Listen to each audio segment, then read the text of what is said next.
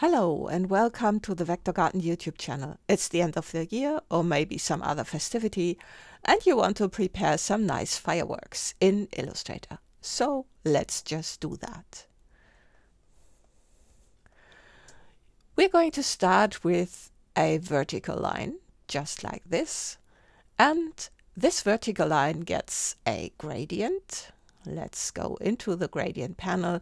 I have already a gradient here, so make sure you focus the stroke and then apply this gradient. So this is just a gradient from pink to black. And also we are in RGB color mode because then it gets really, really bright. And this gradient, you can leave it like this, or you can apply a gradient along the stroke. And let's make it along the stroke.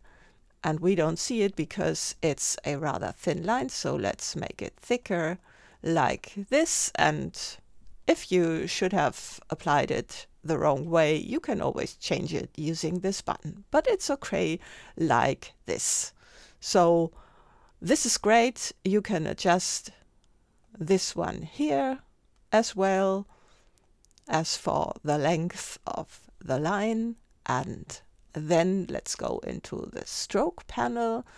I'm going to pull it from the control panel, which is this one here. You get it in window control, but you can also go to window stroke to get this and set this to round.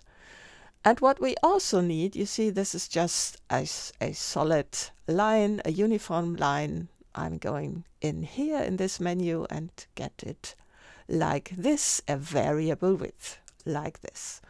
And this is already looking quite nice, so this is fine for fireworks, but we're going to put some emphasis on this point up here and I'm going to change fill and stroke like so. And let's go into the gradient panel again and apply a radial gradient up here and duplicate this gradient stop by pressing Alt and moving it and then I'm going to move that one out like so and let's make them both lighter and this one as well like so.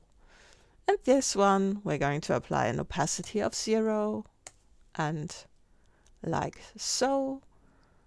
And then you see this is okay. So we can move this one out a little and the center as well, like so.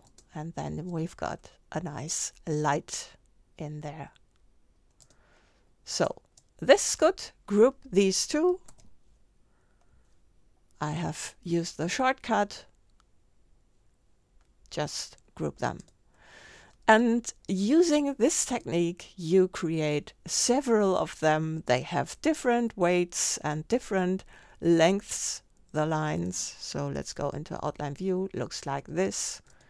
And we are going to use them. So they have also different colors. This one is slightly darker. So let's start with this. It will be the base.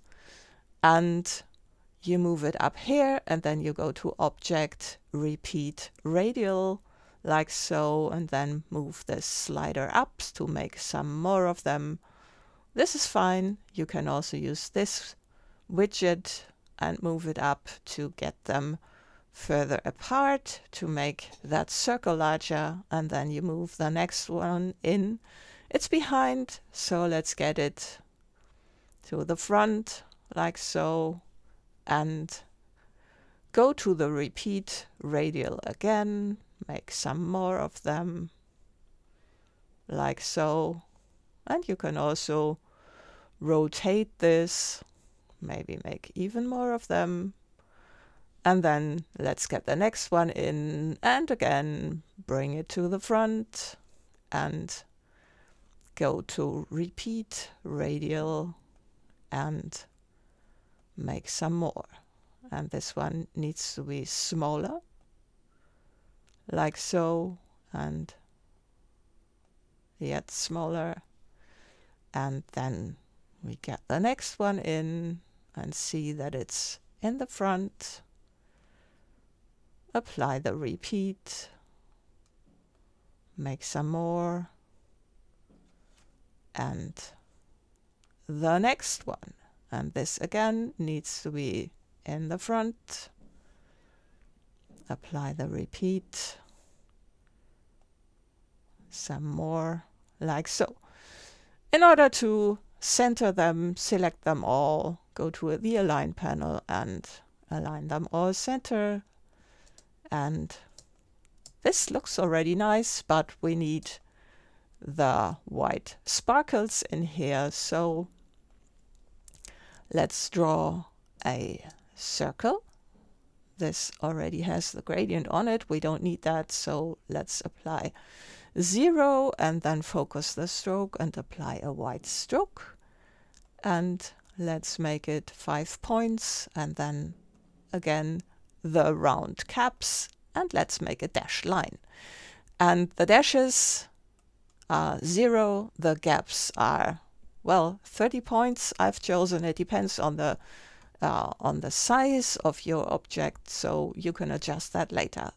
And in order to get this sparkling look, go to Effect, Distort and Transform, Roughen, and then you apply roughen to that. I'm going to leave it like that.